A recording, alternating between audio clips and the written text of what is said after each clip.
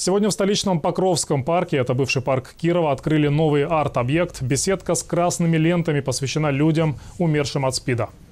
Люди будут э, смотреть, э, получать э, удовольствие от красоты этого объекта и задумываться о том, что да, есть такая проблема, и в моих руках сделать так, чтобы она меня не коснулась. Мы думали о том, чтобы этот объект был не только красивым, но и функциональным. То есть, чтобы люди, особенно молодежь, могли его использовать в своих фотографиях, просто посидеть, погулять.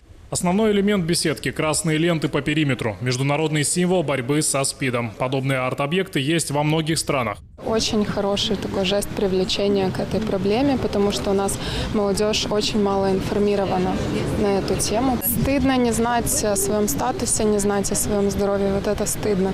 Стыдно то, что очень многие так думают.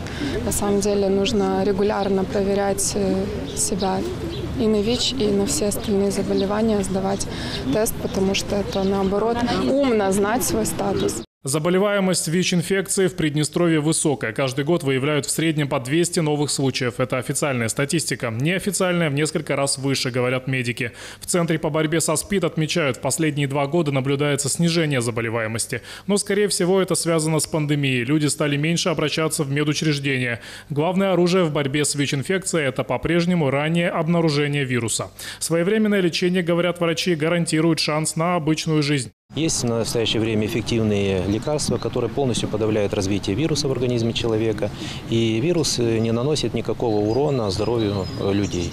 И поэтому люди, которые получают именно эту терапию, антиретровирусную терапию, они э, работоспособны, ведут здоровый образ жизни, и женщины ВИЧ-инфицированные в настоящее время рожают здоровых детей. Беседка не первый тематический арт-объект в Покровском парке. Ранее здесь установили инсталляцию в виде одуванчиков в память о жертвах домашнего насилия.